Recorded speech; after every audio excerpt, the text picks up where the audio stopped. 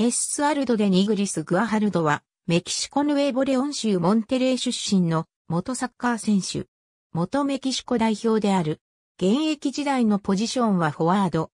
CF モンテレー2009年11月15日、兄のアントニオ・デ・ニグリスが心臓発作によって死去した。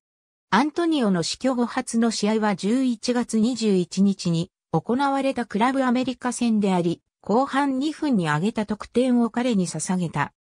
アペルトゥーラ2009プレーオフ準決勝のデポルティーボ、トルーカ戦では2得点し、決勝のクルスアスルでも得点して優勝に貢献した。1年後にもリーグ優勝したが、今度はサントスラグナを破って優勝を決めた。2011年4月27日、2010から11シーズンのコンカカーフチャンピオンズリーグ決勝でレアルソルトレークを破って優勝した。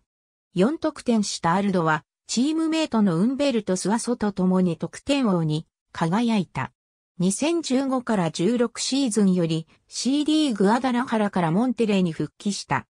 2010年2月、ボリビア戦とニュージーランド戦のためにメキシコ代表に招集され、ボリビア戦で途中出場してデビューした。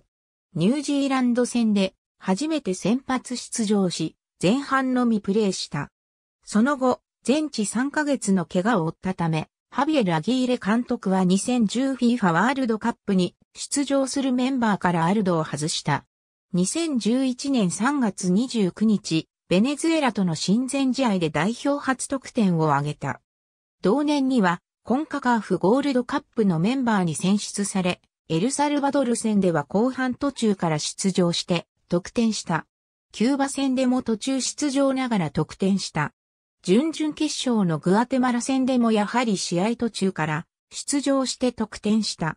準決勝のホンジュラス戦では前半ロスタイムにヘディングで先制点を挙げて決勝進出に貢献した。決勝ではアメリカを4の2で下して優勝。4得点を挙げたアルドは得点ランキング2位となった。2014FIFA ワールドカップ北中米カリブ海3次予選で苦しんだメキシコだったが、2013年6月5日の最終予選第6節、敵地でのジャマイカ戦において48分に決勝のヘディングシュートを決めた。イタリア国籍も保持している。スポーツブランドのアンダーアーマーとスポンサー契約を結んでいる。長兄のアルフォンソ・デ・ニグリスは俳優でありモデルである。